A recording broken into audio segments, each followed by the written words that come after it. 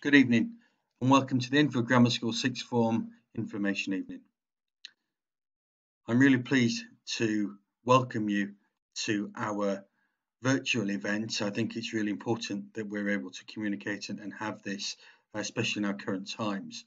Uh, I hope to be able to give you lots of information which will be useful and will help you as you make your decision about the sixth form and about courses uh, that are on offer. Throughout this presentation tonight, I'm going to talk about who the sixth form is and, and how we got on last year. I will also talk to you about some of the, the key features of our sixth form and talk to you about the application process. If at any time during this presentation you have any questions, please feel free to ask them straight away. Mr. Birkin is online and can answer questions uh, if you just use the chat box. If it's a private message or private question relating to your child, please ensure that you make the message private. Uh, otherwise, you can send to all. If you are not watching this presentation live, I'm sorry, uh, but we won't be able to answer the questions in the chat box and email the school in the normal way, and we will get back to you. So let me introduce myself first. So my name is David Ragg. I'm assistant head teacher and I'm the head of sixth form and I joined the school in April this year. So it's been a very strange time uh, to join the school, as you, you will understand. The head of year 12 for next year will be Mr. Birkin, and many of your sons will know Mr. Birkin, who is one of our business teachers uh, and has been at the school for a long, long time. I'd also like to introduce you to Mrs. Jeffrey. Uh, Mrs. Jeffrey is someone who uh, works very closely for the sixth form. She's our attendance and our sixth form administrator, but actually she's far more than that. She is the mum and the glue that holds us all together. Our emails are on the screen again. If you want to ask questions, please feel free to contact us. So what are we about? Basically, as a sixth form, we are making really massive strides to ensure that we provide the best opportunity, opportunities for your children, for your sons. And our vision, I think, really is straightforward. We want to inspire, challenge, but also support every student so they can raise, achieve, and exceed their personal and academic aspirations. And we want to do that every day. We fully support our school motto, which is as much as I can, and it's really important to us that every day we make those strides. So thinking about last year and the year 13, it was a very strange year, as you will know and you'd have seen in the media. Unfortunately, our year 13s were not able to take exams and we relied on centre assessed grades. The fantastic news is, is that our boys did really well. Their hard work, their dedication and their studious nature paid off and they were aptly rewarded. 27% of all grades were A or A star, which is an absolutely fantastic achievement, and 55% were all A star to Bs. Again, you, over half the grades at grade B or above. Our average point grade increased and also our attainment grade too. One of the key things that did improve last year and has been improving over a number of years, as the graph at the bottom will show, is something that we call value added and value added is the amount of progress a student makes in comparison to their GCSEs. And on average, every student last year made half a grade more progress in every one of their subjects compared to what their GCSE grades. What a, an absolute wonderful progress and is testament to their hard work, but also the teaching and the support that they received at grammar. So the results were great, but what does it mean? Effectively, it means that 91% of our boys managed to get into a university of their choice. Out of those who went to university, 26 went to Russell Group, institutions which are, quite frankly, the best universities in our country and probably some of the best in the world. Uh, but over 80% of all students went to what we class as good universities, so they've been rated good in other ways. That's a fantastic achievement uh, considering we are comprehensive school. In addition to university, we had 5% who studied for an apprenticeship and have gone on to do degree level or high level apprenticeships, and we have a small handful of boys, about 4%, who've taken a gap year this year. And I think, to be honest, we can probably understand why, given the COVID and given the restrictions that they've had. Put that actually on paper and to give you an indication, uh, what I've got on the screen at the bottom is just selection of our students who achieved all A stars. I've, I've taken the names off, so I can't share those with you, but what I can share is the courses and the institutions they went on to study at. So we had one student who achieved four A stars. He's at Warwick now and he's studying law. We have a number who got two or three A stars and they're studying a variety of courses at different universities. So that's how our students got on. We're incredibly proud of the achievement that they made. And I think the hard work of them, of their teachers, really pays off. And I think the key, and it's one of the differences we'll talk about later, is this is hard work over the two years of their A level courses. We really wish them well, and as they leave us, we are confident that they will succeed and do exceptionally well in the rest of their educational journey, but also in their future careers. And we're looking forward to seeing them back in our old boys' dinners uh, and hearing exactly how they're getting on. So this brings us to the end of what I've called Act 1. And this is the time where I'm going to pause and I'm going to give you the opportunity to ask questions. I'm literally just going to, to pause myself uh, and then I will come back in a moment and answer any questions that you have.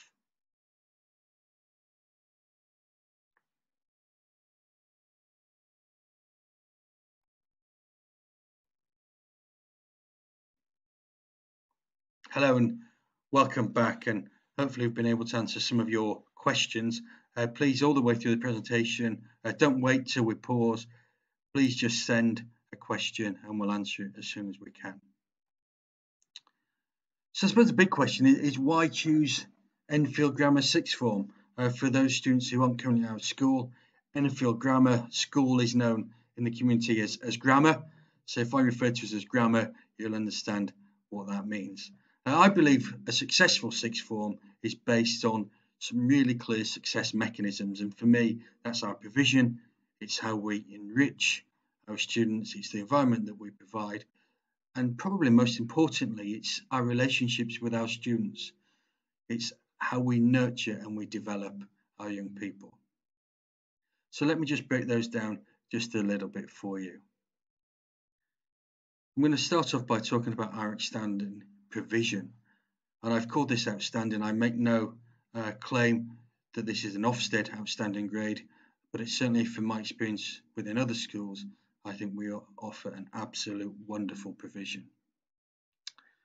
We have a, a huge range of courses and our post-16 courses are, are delivered by specialist teachers and there is a vast array.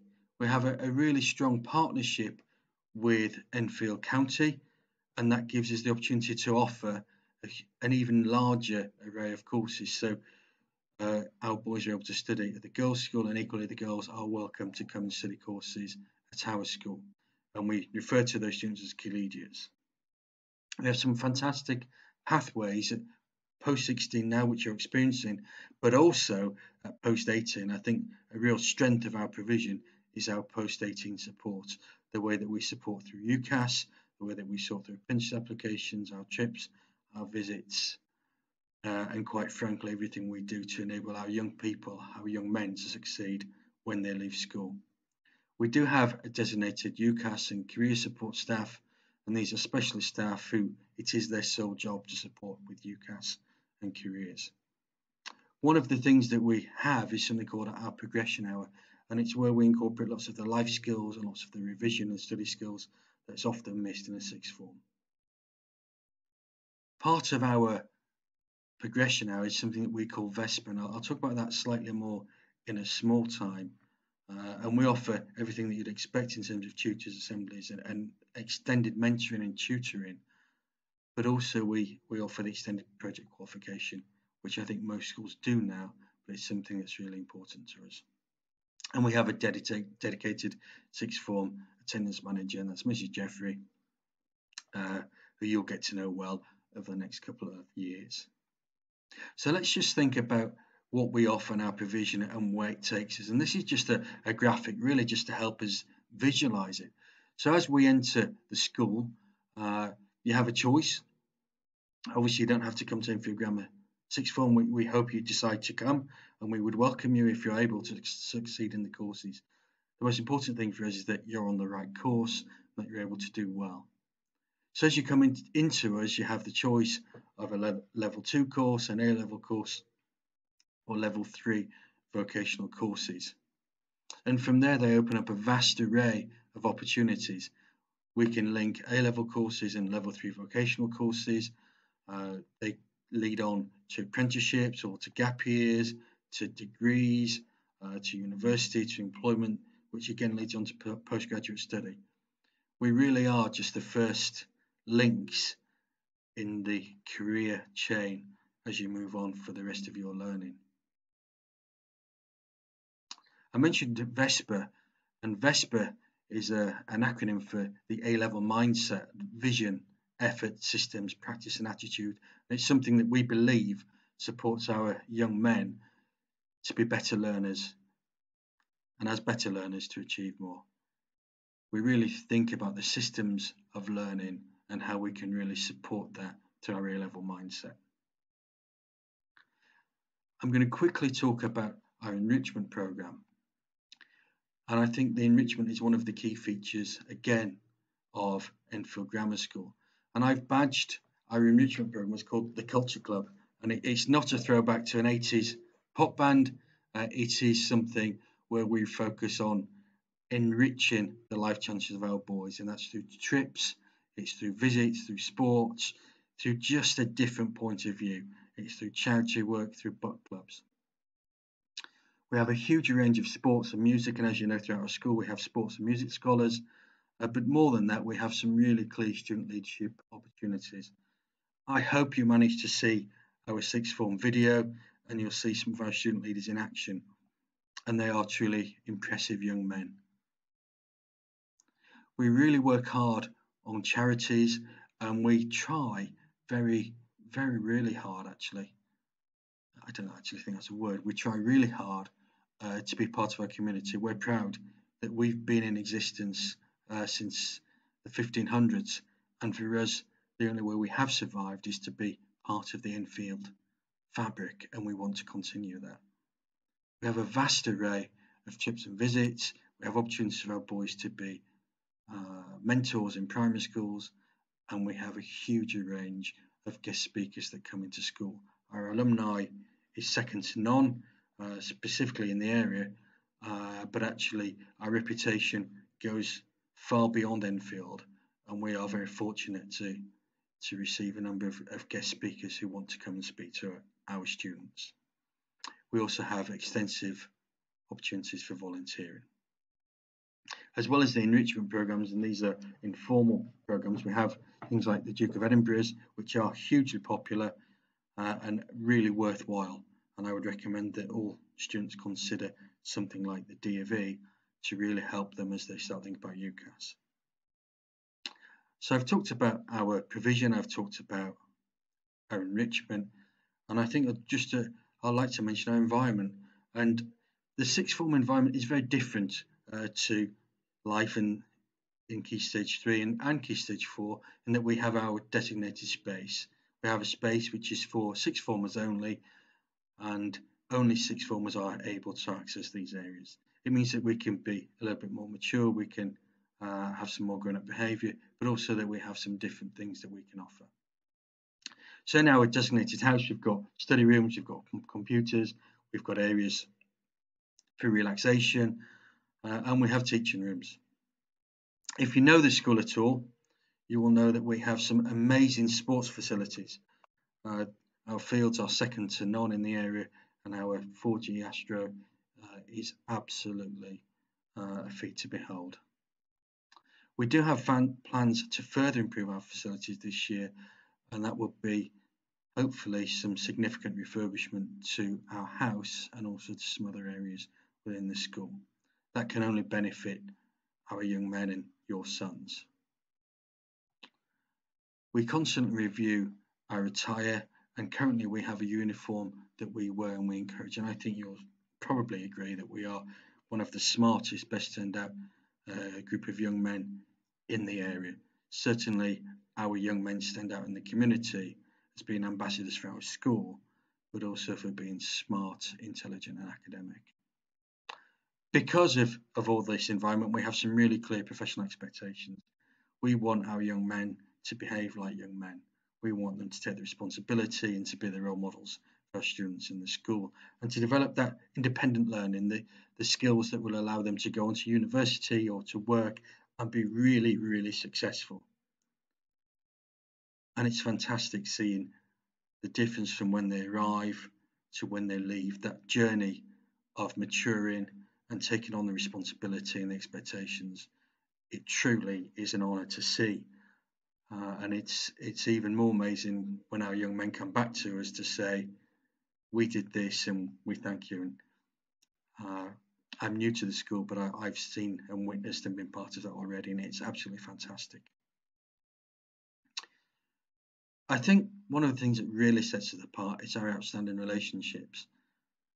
And uh, one of our tutors said that we were established in 1558, but we're nurtured daily. Uh, and I think, like a good wine, we have matured, uh, but I think we are absolutely outstanding in the way that we manage and we treat our boys. We have a really clear emphasis and ethos of teamwork within the sixth form, and that goes across all areas. That doesn't mean we don't have high expectations. We do have expectations and we challenge, but actually those challenges are supported by thinking about the well-being of our young people.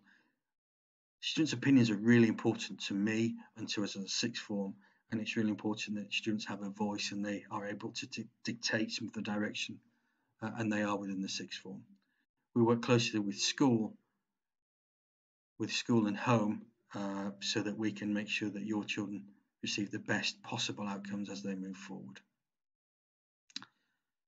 And finally, I think it's one of the areas that we tend to forget as our young young men become to the sixth form, but we take safeguarding very, very seriously.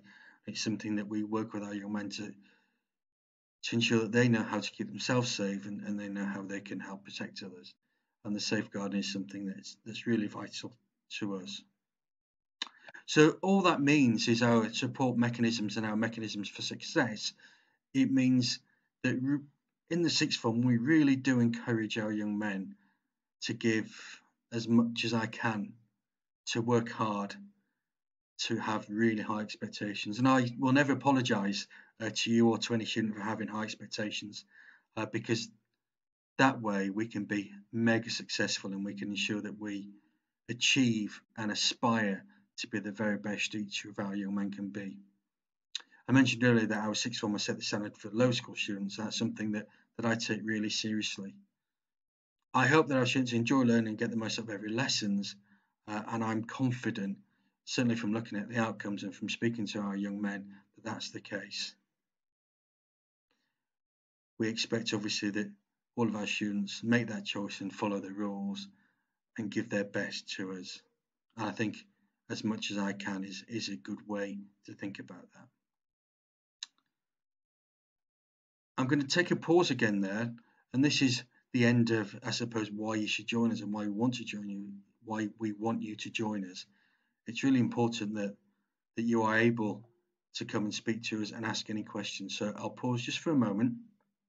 Please ask any questions again in the direct chat, and I will answer them via chat or Mr. Birkin will as we move on.